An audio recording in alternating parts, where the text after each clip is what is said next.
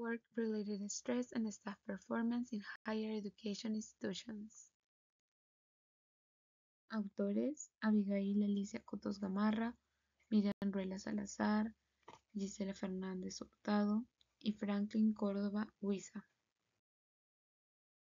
Con el paso de los años, el estrés laboral es un tema de gran interés en las organizaciones ya que viene incrementándose.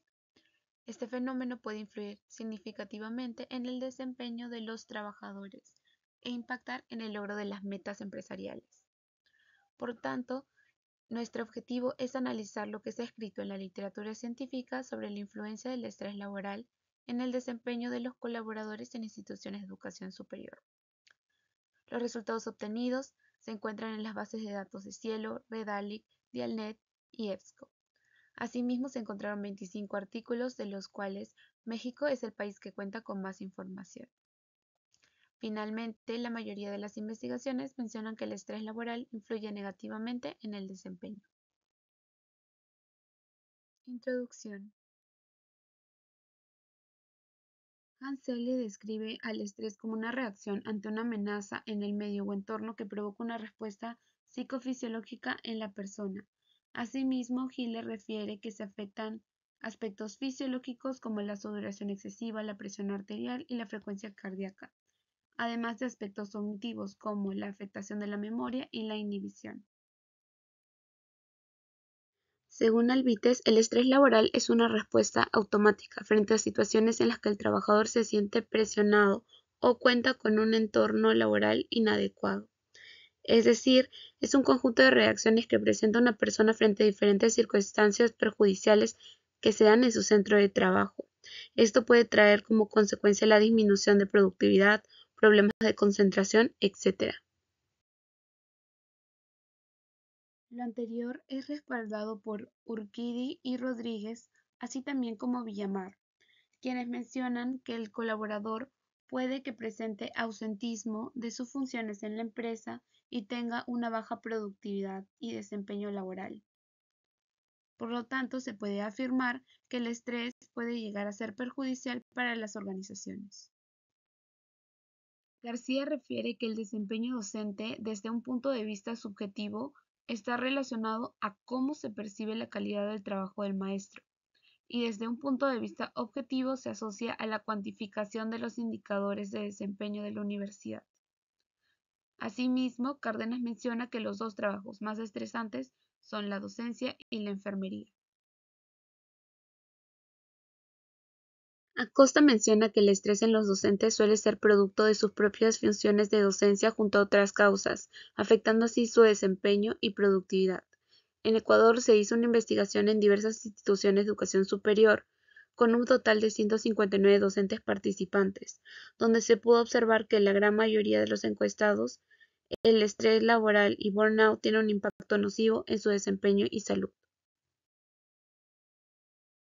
En Perú, el Ministerio de Educación afirma que los docentes tienen a su cargo la enseñanza y el desarrollo de nuevos conocimientos, generando así una carga laboral que podría verse traducida en el estrés laboral, afectando a sus capacidades para desenvolverse en tareas que les son asignadas.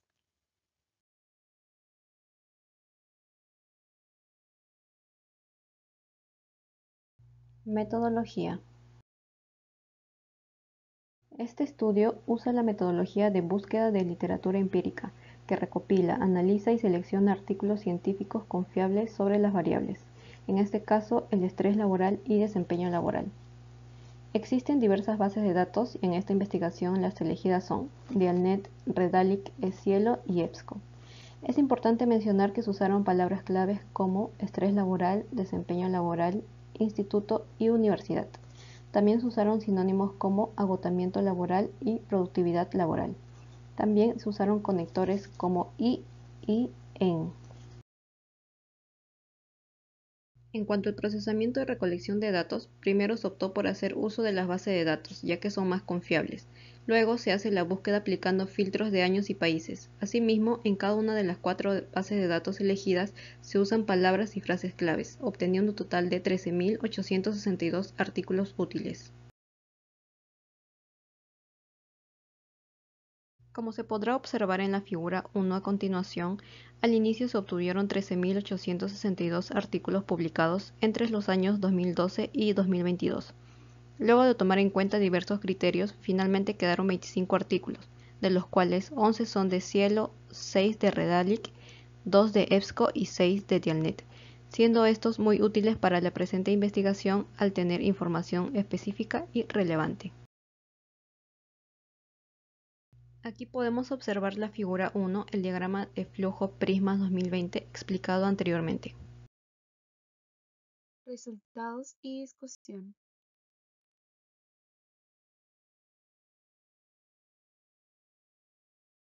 La siguiente tabla muestra los 25 artículos considerados para la investigación y que fueron seleccionados según el año de publicación, la estructura IMRD, la realidad latinoamericana, etc.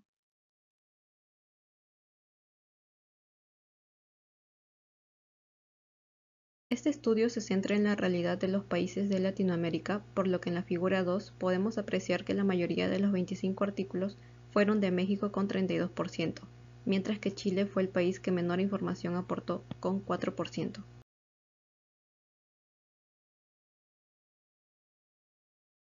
Como se puede observar en la figura 3, en el año 2019 se publicaron la mayoría de los artículos seleccionados. La figura 4 nos muestra la población estudiada de los artículos, encontrando que la mayoría estudiaron a los docentes con un 84%. Esto puede deberse a que los profesores son quienes presentan alta carga laboral, además del compromiso con la educación de los estudiantes. Por otro lado, el 8% estudió al personal administrativo. La tabla 2 muestra que 19 de los 25 artículos de investigación son de enfoque cuantitativo, ya que las herramientas más usadas para la investigación de las variables son los cuestionarios que arrojan datos estadísticos. Debido a que la mayoría de los estudios revisados tuvieron un enfoque cuantitativo, en la figura 5 podemos observar los cinco tipos de cuestionarios que más se usaron en las 25 investigaciones, siendo el cuestionario de Maslach el que mayor presencia tuvo, con nueve artículos en total. La tabla 3 muestra los temas de similitud para las variables de estrés laboral y desempeño laboral. Estas son agotamiento emocional, burnout, despersonalización, motivación, desempeño docente, satisfacción, entre otros. De acuerdo con Monroy y Juárez 2019, existe relación entre el estrés y los factores psicosociales cuando diversos factores referentes al ámbito laboral llegan a causar patologías mentales como el estrés. Asimismo, el estrés laboral, si no es tratado a tiempo, puede convertirse en burnout afectando así mental y físicamente a la persona, llegando a influir en el desempeño laboral. Adicionalmente, Balseiro 2010 sostiene que el estrés, al llegar a un nivel crónico, puede generar agotamiento emocional, ocasionando en el trabajador problemas de concentración y disminución en la productividad. Asimismo, Rivera et al. 2018 indica que otro de los síntomas al tener altos niveles de estrés es la despersonalización, generando que el trabajador se distancie de sus compañeros de trabajo y culpe a los demás de su bajo rendimiento. Por otro lado, Jiménez y Ríos y Arias et al. mencionan que el estrés laboral es muy común en los docentes y que esto podría mejorar si hay una correcta organización y trabajo en equipo. Por otra parte, Cárdenas nos menciona que cuando un trabajador tiene una alta motivación hacia el desempeño de sus funciones, no tiene problema en cumplirlos, siendo así fiel a la organización. En adición, Mendoza menciona que el compromiso organizacional es un elemento primordial para el desempeño laboral, ya que el colaborador, además de enfocarse en sí, se enfoca en el éxito de la empresa. Finalmente, Daza menciona que el desempeño también puede desencadenar una sobrecarga laboral, sobre todo cuando es en el contexto universitario, donde se presenta una carga laboral excesiva, jornadas laborales largas, horarios variados y el cumplimiento de funciones administrativas aparte de las funciones académicas. La figura 6 muestra la influencia que tiene el estrés laboral sobre el desempeño de los colaboradores en instituciones de educación superior de acuerdo con los 25 artículos revisados. Aquí podemos observar que el estrés laboral es causado por factores psicosociales como carga laboral, deficiencia de materiales y alta exigencia. Esto afecta al desempeño laboral ligado al compromiso organizacional, sobrecarga laboral, productividad, motivación y satisfacción. También vemos que el estrés laboral en un nivel crónico puede llegar a convertirse en burnout, el cual tiene síntomas como despersonalización, agotamiento emocional y falta de realización personal. Conclusiones. El presente trabajo es una revisión sistemática que usa la búsqueda de literatura empírica como herramienta de investigación, permitiendo así entender y definir las variables de estrés laboral y desempeño laboral. En cuanto al enfoque metodológico, el 76% de los artículos son cuantitativos, un 12% cualitativos y un 12% mixtos. Por otro lado, una de las limitaciones más grandes que hemos tenido al realizar este estudio es encontrar artículos con el contexto educativo superior. En conclusión, la mayoría de las investigaciones indican que existe una influencia negativa del estrés laboral sobre el desempeño en colaboradores de instituciones de educación superior. Por ello, se recomienda que las universidades e institutos creen un ambiente con normas favorables para sus trabajadores, disminuyendo así los factores psicosociales que pueden desencadenar el estrés laboral. Asimismo, se sugiere que futuras investigaciones puedan explorar nuevos temas como la productividad o competitividad laboral y su relación con el estrés laboral, las cuales también se enfoquen no solo en los docentes, sino también en personal administrativo y de apoyo, ya que ellos también están en un ambiente laboral exigente. Referencias